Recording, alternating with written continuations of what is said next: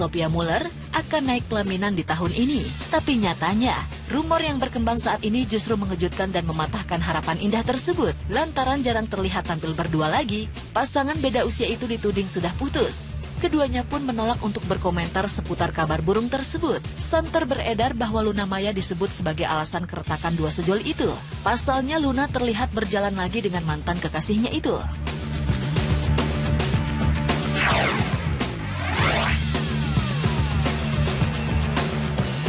Setelah dinyatakan sembuh dari kanker serviks stadium 2B yang dideritanya, Julia Perez rupanya belum bisa bernapas lega. Ia justru dilanda rasa kesal lantaran uang asuransi kesehatan di perusahaan asuransi ternama hingga kini tak kunjung cair.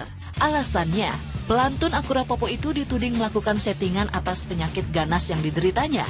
Bila dalam kurun waktu tiga bulan, dana yang seharusnya dibayarkan itu tak kunjung cair, Jupe menyatakan sikap untuk memperjuangkan haknya.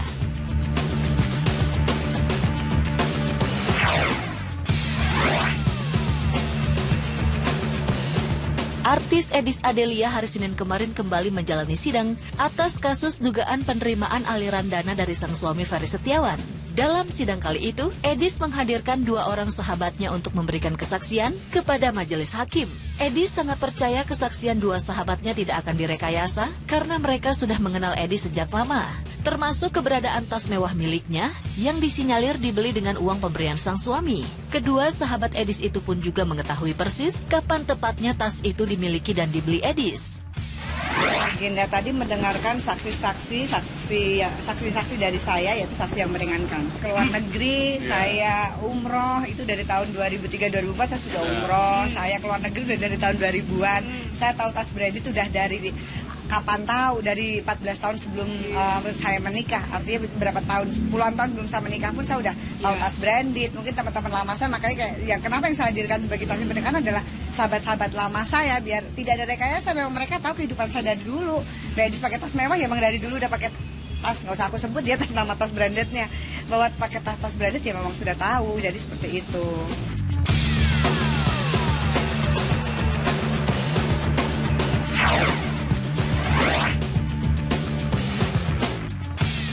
Hari Senin kemarin artis serta presenter Ayu Dewi terlihat sibuk. Ayu terlihat sedang menjalani sesi syuting video klip untuk single barunya bertajuk Hati Yang Tepat. Dalam penggarapan video klip yang bernuansa sirkus tersebut, Ayu sengaja mengajak Regida Tahu sang suami sebagai model video klipnya. Selain mengisahkan kisah cintanya, video klip tersebut juga mengusung konsep colorful dengan memasukkan unsur sirkus seperti balon serta benda-benda lainnya. Kenapa? Karena aku kan gadis komedi jadi pakai komedi putih. Dan kalau sirkus kan berbau-bau sirkus kan ada balon ya. ada di uh, panggung, di panggung. Gorden. Gorden semua. Jadi ceritanya ini memang show yang fun. Fun. Tapi, pokoknya ini uh, ratu show-nya ya. Tapi nggak ada yang nonton kesian ya. Bu. Sedih deh. Emang lo doang yang ratunya. Boleh kali sirkus ada ratunya. Gitu terus ini sebenarnya persiapan dadak-dadakan ya maksudnya? Dua hari lalu loh ya kan? Dua hari lalu. Dua hari lalu ini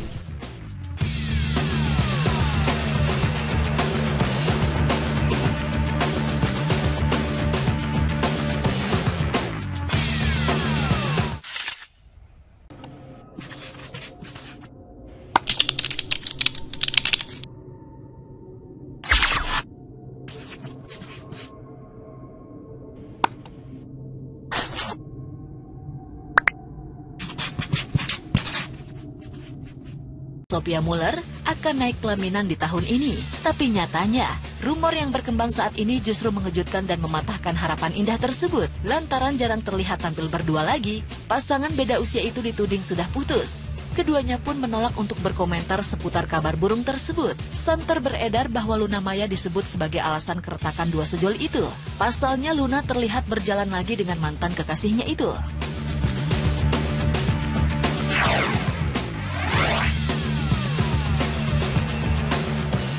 Setelah dinyatakan sembuh dari kanker serviks stadium 2B yang dideritanya, Julia Perez rupanya belum bisa bernapas lega. Ia justru dilanda rasa kesal lantaran uang asuransi kesehatan di perusahaan asuransi ternama hingga kini tak kunjung cair. Alasannya, Pelantun Akura Popo itu dituding melakukan settingan atas penyakit ganas yang dideritanya.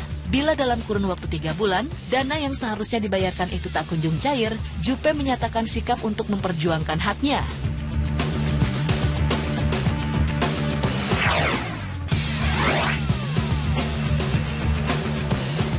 Artis Edis Adelia hari Senin kemarin kembali menjalani sidang atas kasus dugaan penerimaan aliran dana dari sang suami Ferry Setiawan. Dalam sidang kali itu, Edis menghadirkan dua orang sahabatnya untuk memberikan kesaksian kepada majelis hakim. Edis sangat percaya kesaksian dua sahabatnya tidak akan direkayasa karena mereka sudah mengenal Edis sejak lama termasuk keberadaan tas mewah miliknya yang disinyalir dibeli dengan uang pemberian sang suami. Kedua sahabat Edis itu pun juga mengetahui persis kapan tepatnya tas itu dimiliki dan dibeli Edis. Agenda tadi mendengarkan saksi-saksi, saksi saksi-saksi dari saya yaitu saksi yang meringankan. Keluar negeri, yeah. saya umroh itu dari tahun 2003-2004 saya sudah umroh. Saya keluar negeri dari tahun 2000-an. Saya tahu tas brand itu sudah dari kapan tahu dari 14 tahun sebelum uh, saya menikah. Artinya berapa tahun puluhan tahun belum saya menikah pun saya udah tahu yeah. tas branded. Mungkin teman-teman lama saya makanya kayak ya kenapa yang saya hadirkan sebagai saksi pernikahan adalah sahabat-sahabat lama saya biar tidak ada rekayasa. Memang mereka tahu kehidupan saya dari dulu.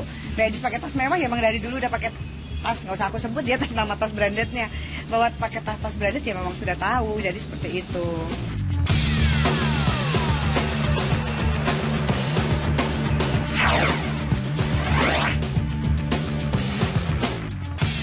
Hari Senin kemarin artis serta presenter Ayu Dewi terlihat sibuk. Ayu terlihat sedang menjalani sesi syuting video klip untuk single barunya bertajuk Hati Yang Tepat. Dalam penggarapan video klip yang bernuansa sirkus tersebut, Ayu sengaja mengajak Regida Tahu sang suami sebagai model video klipnya. Selain mengisahkan kisah cintanya, video klip tersebut juga mengusung konsep colorful dengan memasukkan unsur sirkus seperti balon serta benda-benda lainnya.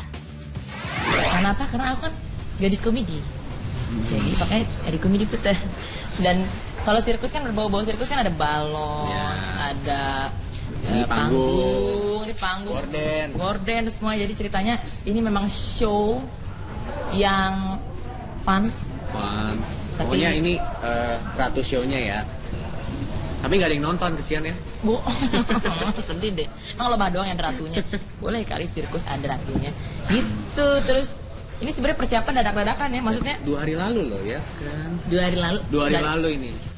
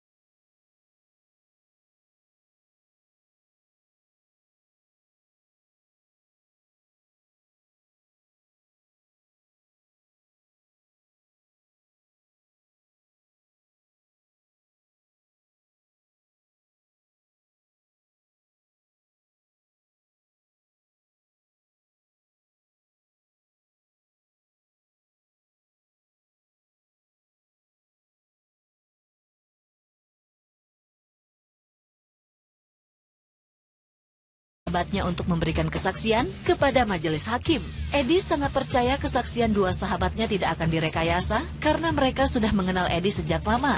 Termasuk keberadaan tas mewah miliknya yang disinyalir dibeli dengan uang pemberian sang suami. Kedua sahabat Edis itu pun juga mengetahui persis kapan tepatnya tas itu dimiliki dan dibeli Edis.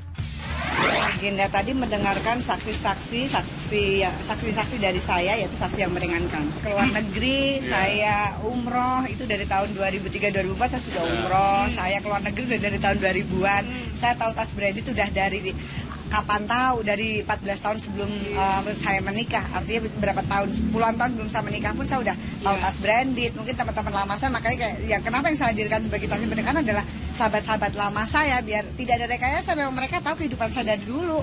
Dari pakai tas mewah ya memang dari dulu udah pakai tas. Nggak usah aku sebut dia tas nama tas brandednya. Bahwa pakai tas tas branded ya memang sudah tahu. Jadi seperti itu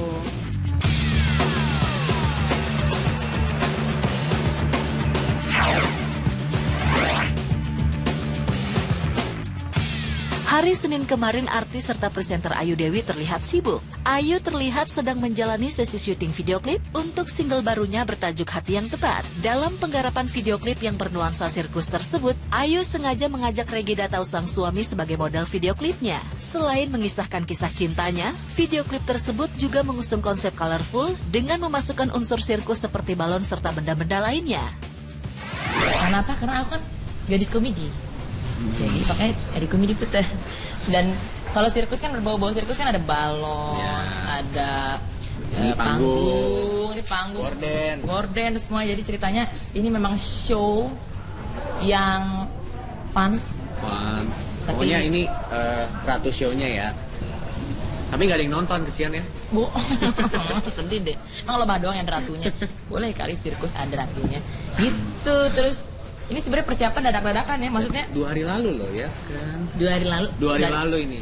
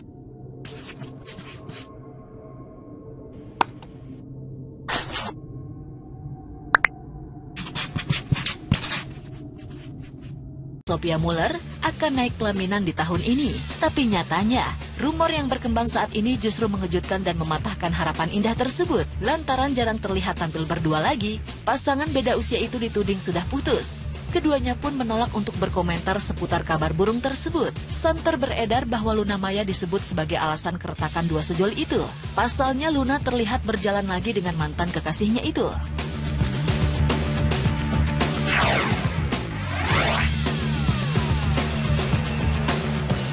Setelah dinyatakan sembuh dari kanker serviks stadium 2B yang dideritanya, Julia Perez rupanya belum bisa bernapas lega. Ia justru dilanda rasa kesal, lantaran uang asuransi kesehatan di perusahaan asuransi ternama hingga kini tak kunjung cair.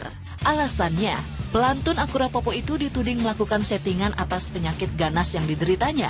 Bila dalam kurun waktu tiga bulan, dana yang seharusnya dibayarkan itu tak kunjung cair, Jupe menyatakan sikap untuk memperjuangkan haknya.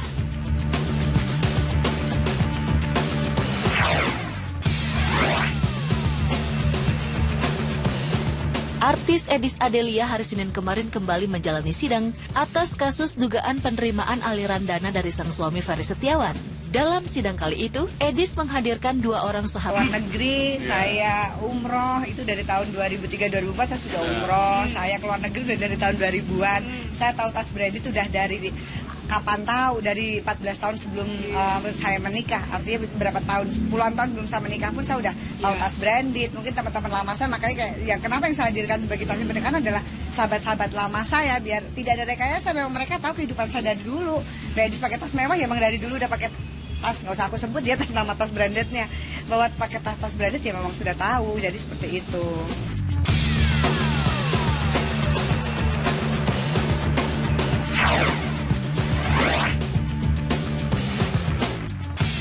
Hari Senin kemarin artis serta presenter Ayu Dewi terlihat sibuk. Ayu terlihat sedang menjalani sesi syuting video klip untuk single barunya bertajuk Hati Yang Tepat. Dalam penggarapan video klip yang bernuansa sirkus tersebut, Ayu sengaja mengajak Regida Tahu sang suami sebagai model video klipnya. Selain mengisahkan kisah cintanya, video klip tersebut juga mengusung konsep colorful dengan memasukkan unsur sirkus seperti balon serta benda-benda lainnya. Kenapa? Karena aku kan gadis komedi. Jadi pakai Edi komedi putar. Dan kalau sirkus kan berbau-bau sirkus kan ada balon, Ya. ada Ini eh, panggung. ini panggung, Gorden. gorden semua. Jadi ceritanya ini memang show yang fun. Fun. Tapi- Pokoknya ini eh, ratu show-nya ya. Tapi nggak ada yang nonton kesian ya. Bu, sedih deh. Emang lebah doang yang ratunya. Boleh kali sirkus ada ratunya. Gitu. Terus ini sebenarnya persiapan dadak-dadakan ya. Maksudnya Dua hari lalu loh ya kan. dua hari lalu. Dua hari lalu ini. Sophia Muller akan naik pelaminan di tahun ini. Tapi nyatanya, rumor yang berkembang saat ini justru mengejutkan dan mematahkan harapan indah tersebut. Lantaran jarang terlihat tampil berdua lagi, pasangan beda usia itu dituding sudah putus. Keduanya pun menolak untuk berkomentar seputar kabar burung tersebut. Santer beredar bahwa Luna Maya disebut sebagai alasan keretakan dua sejol itu. Pasalnya Luna terlihat berjalan lagi dengan mantan kekasihnya itu.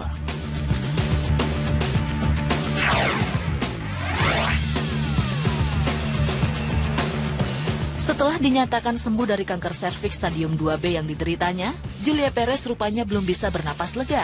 Ia justru dilanda rasa kesal lantaran uang asuransi kesehatan di perusahaan asuransi ternama hingga kini tak kunjung cair. Alasannya, pelantun Akura Popo itu dituding melakukan settingan atas penyakit ganas yang dideritanya. Bila dalam kurun waktu tiga bulan, dana yang seharusnya dibayarkan itu tak kunjung cair, Jupe menyatakan sikap untuk memperjuangkan haknya.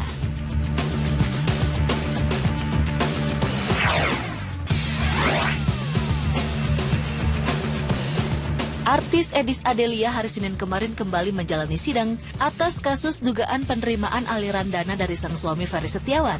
Dalam sidang kali itu, Edis menghadirkan dua orang sahabatnya untuk memberikan kesaksian kepada majelis hakim. Edis sangat percaya kesaksian dua sahabatnya tidak akan direkayasa karena mereka sudah mengenal Edis sejak lama. Termasuk keberadaan tas mewah miliknya yang disinyalir dibeli dengan uang pemberian sang suami. Kedua sahabat Edis itu pun juga mengetahui persis kapan tepatnya tas itu dimiliki dan dibeli Edis. agenda tadi mendengarkan saksi-saksi saksi saksi-saksi dari saya yaitu saksi yang meringankan